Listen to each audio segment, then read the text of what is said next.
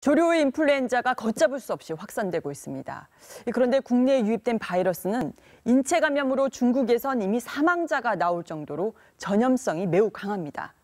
이러다 제2의 메르스 사태로 번지지는 않을까 걱정입니다. 김지아 기자입니다.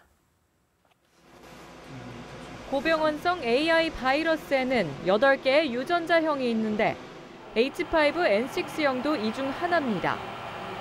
그런데 이번에 발생한 H5N6형 4건을 분석한 결과 H4N2형에 가깝게 변종이 이뤄진 것으로 알려졌습니다. H5N6에 감염된 여성 조류가 시베리아, 즉 중국 북동부 지역의 번식지로 갔다가 우리나라로 도래하는 과정에서 이루어진 것으로 변종 바이러스는 어떤 전파력을 보일지 예측할 수 없기에 인체 감염 우려가 확산되고 있습니다. 중국에선 H5N6형 AI로 인해 최근 3년간 10명이 목숨을 잃었습니다.